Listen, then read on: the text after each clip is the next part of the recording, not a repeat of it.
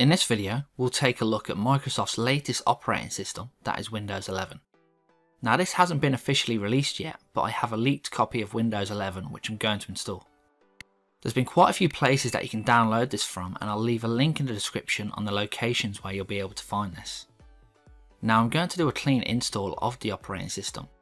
To do this, I'm going to create a bootable USB from the Windows 11 ISO file that I already have downloaded you can do this with a free piece of software called Rufus. I've already made a video previously on how to create a bootable USB, so I'll link the video in the description. Next, go into the boot menu on your computer. This is usually done by pressing escape or one of the F1 to F12 keys during boot up.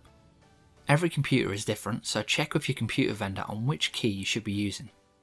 So I'll stay on the removable devices for the USB, and press any key to boot from the ISO.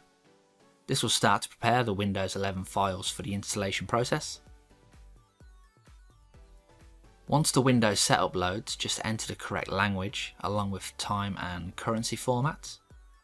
I'll select my settings here and select next. Then go to install now. It will then try and get you to activate the version, but seeing as we're only installing this for demo purposes, just select I don't have a product key. Then for Windows versions, you can select whatever you want to try here. I'm used to installing the Pro versions of Windows, so I'll go ahead and select this. And next. Accept the terms and conditions.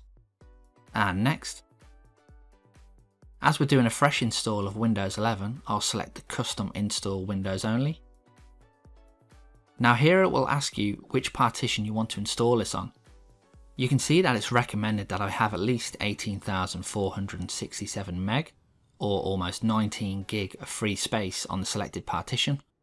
In order to do this, I'm going to delete the existing partitions to free up the required space. Now be aware that deleting partitions means that you will lose all data that you have on them, so make sure you have any data backed up first, if any data is actually on them at all. And if these partitions already have Windows 10 on them, then be aware that this is what you'll actually be deleting. If you want to install Windows 11 on your current computer, then you can do this through File Explorer in Windows 10. Mount the Windows 11 ISO that you've already downloaded and run the setup file that way. I'm running this on a separate virtual machine, which is why I'm installing it this way.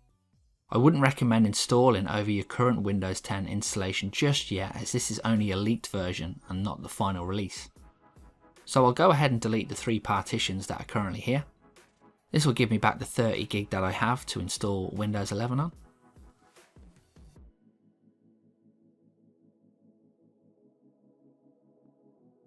Now with all the space unallocated, I'll select new and allocate all the space to this.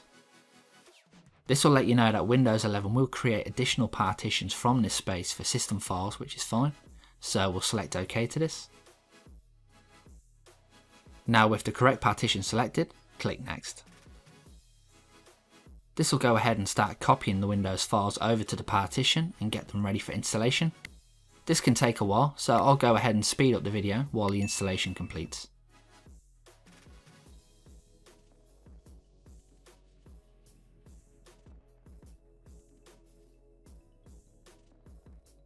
So once that's finished, it will ask you to select the right country. So I'll select this and then yes. Then select the right country for keyboard layout or input method. Then yes. Now I'm not interested in adding a second keyboard layout, so I'll skip this step. So once that's confirmed, it will go off in the background and do a search for updates. I'll set this up for personal use.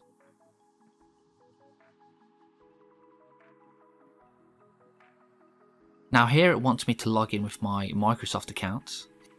It will only prompt you to do this if your computer is connected to the internet at the time of installation. If your computer is not connected to the internet then it will just create a local account which will allow you to log in. I have a Microsoft account so I'll log in with this. If you don't have an account, then you can create one during the setup process just below. Select next. Then I'll pop in my password and go ahead and sign in. Now it will get you to create a pin on your computer which will only work on your device. This feature is available in Windows 10 but wouldn't normally prompt you to set it up on installation. So I'll go ahead and create a pin. And select OK. I'll say no to Microsoft and apps using my location details. As this is only a demo, I won't bother setting up the Find My Device feature. And I'll only send required diagnostic data to Microsoft. I'll say no to improve inking and typing. No for tailored experiences with diagnostic data. And no for apps using advertising ID. So it will now let you customize your experience when using Windows 11, so tick any of the options that interest you. I'll just tick gaming just to see if it gives me any suggestions once I log in, and accept the settings. As this is only a demo, no need to store files on OneDrive, so I'll select only store files on this device, and next. And that's it, it will go off and do a further check for updates, and then it will start to create your local profile on the computer with similar messages that you would normally see in Windows 10 when you logged in for the first time. This may take a couple of minutes, so just be patient for it to complete. And there we go, your profile has loaded, and you can see straight away that Microsoft has made some interesting changes here in Windows 11.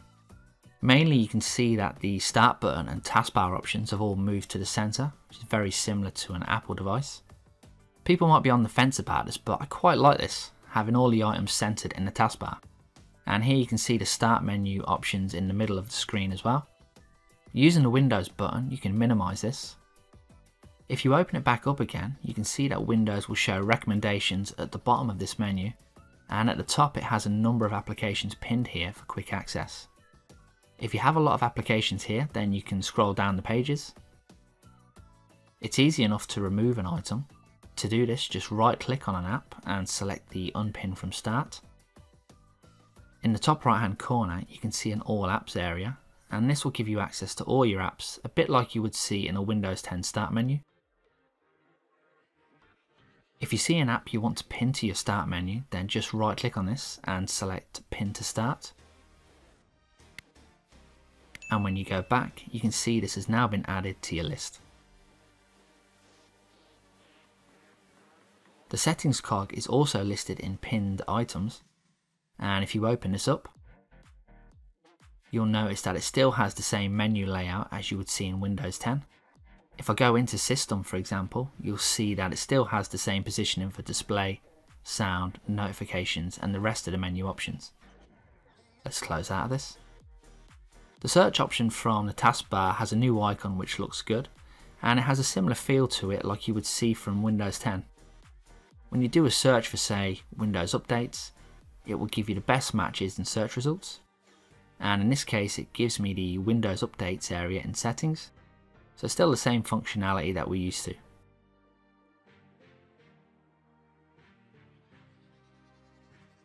Task View is a feature from Windows 10 and this allows you to create separate virtual desktops and customize them with different wallpapers so you can create a desktop for personal use, work, school, gaming or anything else and easily toggle between them. The widgets area is a new addition to Windows 11. Now this is an AI powered personalised feed that slides out to show you info such as news, weather, a glimpse at your calendar, to-do list and your recent photos. This is very similar to the news and interest feature found in the most recent Windows 10 updates.